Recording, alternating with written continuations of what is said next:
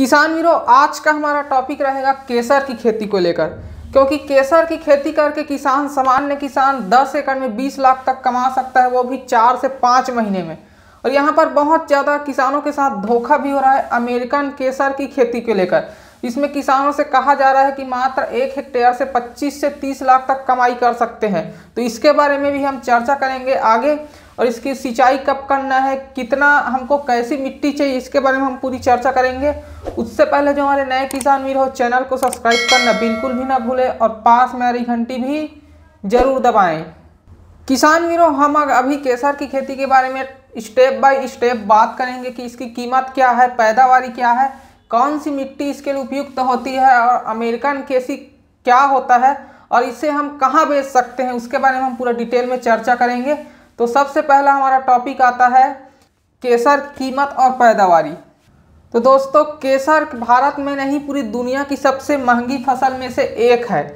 तो और ये इसकी फ़सल की अवधि मात्र तीन से चार महीने की होती है। तो ऐसे में किसान अगर एक हेक्टेयर में अगर केसर की खेती करता है तो वो ढाई से तीन के जी सूखी केसर प्राप्त करता है एक हेक्टेयर में।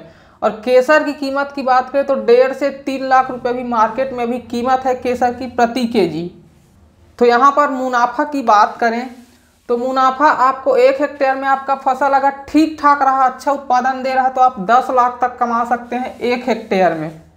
अब हमारा अगला पॉइंट आता है मिट्टी और जलवायु। इसके इसके लिए क्लाइमेट कौन सा होना चाहिए?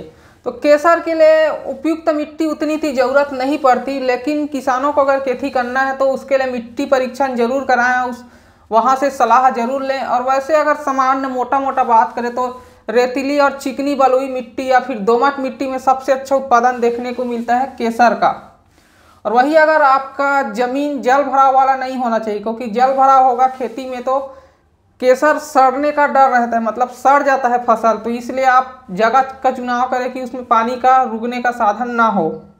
अब हमारा अगला पॉइंट आता है भूमि की तैयारी सॉइल प्रिपरेशन कहा जाता है। तो केसर की खेती के लिए हमको उतना परेशान होने की ज़रूरत नहीं। हम सामान्य दूसरे खेती में जैसे मिट्टी प्रिपरेशन करते हैं, फ़सल से पहले तैयारी करते हैं, वैसा भी इसमें भी करना पड़ता है। लेकिन इसमें आपको प्रॉपर जोताई के समय आपको खाद डालने की आवश्यकता होती है, जिसमें आप इस तरह से डाल सकते हैं। नब्बे के जी नाइट्रोजन तथा साठ किलो फास्फोरस, पोटास प्रति हेक्टेयर के हिसाब जोताई के समय ही डाल दें। मतलब पहला जोताई हो, उसके बाद सेकंड जोताई में आप ये खाद डाल सकते हैं, उसके बाद ही रोपण करें। अब हमारा अगला टॉपिक आता है रोपण का समय सोविंग टाइम तो केसर सामान्यतः वर्षा आधारित खेती आप जानते ही हैं तो आपको इसको लगाना है तो सबसे अच्छा समय होता है जुलाई से अगस्त, इसके लिए सबसे अच्छा समय होता है, क्योंकि इस समय तापमान इसके हिसाब से रहता है। उसके बाद अगर आप केसर का क्रोम लगा रहे हैं तो फिर इसमें आप सात सेंटीमीटर का गड्ढा करके क्रोम की दूरी दस सेंटीमीटर रखें। जिससे इसमें क्या होगा कि पौधा अच्छा फलता फूलता है और पौधे से पौधे की दूरी निश्चित होने पर पराग भी अच्छा निकलता है। तो कहा जाए तो इसमें अच्छा उत्पादन देखने को मिल जाता है। अब हमारा अगला पॉइंट आता है केसर की खेती के लेकर इसकी सिंचाई। इसकी इरिगेशन की बात करते हैं। तो सामान्य हम पहले ही चर्चा कर चुके हैं कि ये एक वर्षा आधारित खेती है। और इसके, इस फ़सल के लिए 10 सेंटीमीटर वर्षा की आवश्यकता होती है, उतनी ज़्यादा ज़रूरत नहीं पड़ती। तो अगर आप सिंचाई करते हैं तो आप फ़सल लगा दिए हैं तो उस समय तो आपको थोड़ा बहुत सिंचाई करना ही पड़ेगा लगाने के समय। और अगर फ़सल लगाने के बाद, कुछ दिन बाद बारिश हो जाती है, हल्की बारिश तो आपके फ़सल के लिए अच्छा है। आपको सिंचाई का उतना ध्यान रखना नहीं पड़ेगा। और बीच बीच में अपने हिसाब से पंद्रह या बीस दिन के अंतराल में आप दो या तीन बार सिंचाई ज़रूर करें। जिससे खेत में नमी बने रहेगी और उत्पादन में कोई फ़र्क नहीं हो पड़ेगा। अब हमारा अगला टॉपिक आता है केसर की खेती में रोग या बीमारी। इसमें कुछ बीमारियाँ भी लगती है तो सामान्य बात है, कोई भी खेती करो या कोई भी काम हो खेती में, कुछ बीमारियाँ तो आ ही आती उसके निपटारा करने के लिए हमको कुछ जानकारी हो तो हमको कुछ फ़र्क नहीं पड़ता। तो इसके खेती में अगर आप बीमारियों का निपटारा करते हैं तो इसके लिए आप देसी उपाय भी अपना सकते हैं, जैसे नीम के पत्ते है अखड़ा है, धतूरे के पत्ते को पानी में उबाल कर आप फ़सल में छिड़क सकते हैं। और आप सबसे ज़्यादा ये ध्यान रखें कि पंद्रह दिन के अंतर में ये सिंचाई करते रहें, ये भी एक रोग का निवारण के लिए कुछ साधन हो सकता है, क्योंकि निश्चित पानी मिलता रहेगा तो फ़सल में उतना प्रभाव नहीं पड़ता।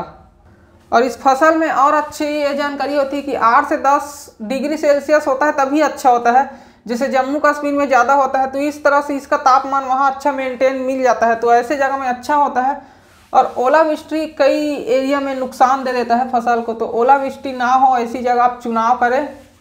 अब आता है केसर की कटाई और इसके मेन होता है सुखाना, इसको सुखा कर बेचते हैं।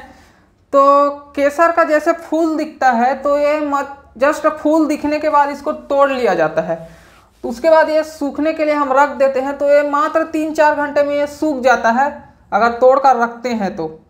उसके बाद थोड़ा बहुत सूख जाता है तो इसमें फूलों से केसर को निकाल लिया जाता है और इसे कुछ अच्छे इसके पात्र में रख लिया जाता है, जैसे कंटेनर हो गया, कुछ में रख सकते हैं और इस तरह से पूरी फ़सल कट जाती है तो इसमें और अच्छे से इसको धूप में सुखाना पड़ता है, उसके बाद इसको आप बाज़ार में बेच सकते हैं। तो उसके बाद आता है कि हम बेचें कहाँ इसको? तो इस तरह से पैदावार हो जाता है तो इसके आप पैक कर सकते हैं। इसको पैक करके आप नज़दीकी मंडी में बेच सकते हैं, जिससे अच्छा दाम होगा। और आपका केसर ख़राब भी नहीं होता, पैक करते हैं तो उतना। उसके बाद और समस्या आती है कि हम और कहाँ कहाँ बेच सकते हैं। तो इसमें आप आयुर्वेद मंडी में जाकर बेच सकते हैं, या फिर कई कई जगह इसको ऑनलाइन भी खरीदी होती है। तो इस तरह से इसको ऑनलाइन भी आप बेच सकते हैं केसर को। अब हमारा अगला टॉपिक आता है अमेरिकन केसर की खेती। तो दोस्तों, अभी हाल ही में चल रहा है कि अमेरिकन केसर की खेती करके आप 25 लाख तक कमा सकते हो अभी मात्र एक हेक्टेयर में। लेकिन ये सरासर थोड़ा किसानों के साथ नाइंसाफ़ी भी हो रहा है। कुछ किसान इसमें फंस रहे हैं। क्योंकि अगर सामान अगर किसान लगाना चाहता है तो इसके बीज का कीमत इतना ज़्यादा है कि आप पूछ नहीं सकते। पच्चीस हज़ार से नब्बे हज़ार तक इसका प्रति केजी के हिसाब से इसका बीज मार्केट में उपलब्ध मिलता है। तो यहाँ पर किसको अमेरिकन केसर खेती बोल रहा है? अमेरिकन केसर किसको बता रहे उसको हम जानते हैं कि किसको बोला जाए तो इसका एक पौधा आता है जिसका वैज्ञानिक नाम है कैथेमस टिक्टेरियस करके एक फ़सल आता है जिसके बीजों में सफोला तेल बनता है। उस उस फ़सल से हम सफोला तेल बनाते हैं, जो कि अभी इसके बीज मार्केट में आपको 25 से 30 रुपए किलो में आसानी से मिल जाता है। इसी कुसुम के फूल और पिंक केसर को अमेरिकन केसर के नाम से प्रचारित किया जा रहा है, लोगों को भ्रमित किया जा रहा है तो इस तरह से अमेरिकन खेती का, खेती के नाम पर किसानों को इस जाल में फंसाया जा रहा है। तो किसान वीरों, ये रही हमारे द्वारा इकट्ठी की गई जानकारी जो कि हमने पूरी तरह से कुछ किसानों से संपर्क किए हैं, बाकी हम नेट से सर्च करके ये सारी जानकारी लिए हैं। तो आपको जानकारी कैसी लगी, हमें कमेंट में ज़रूर बताएँ। और आपको ब्लॉग पढ़ना है, आपको अच्छे से और जानकारी लेना है तो आप हमारे website farm Duniya dot com पर जाकर देख सकते हैं। मैं लिंक नीचे डिस्क्रिप्शन में दे दिया हूँ। तब तक के लिए जय हिंद।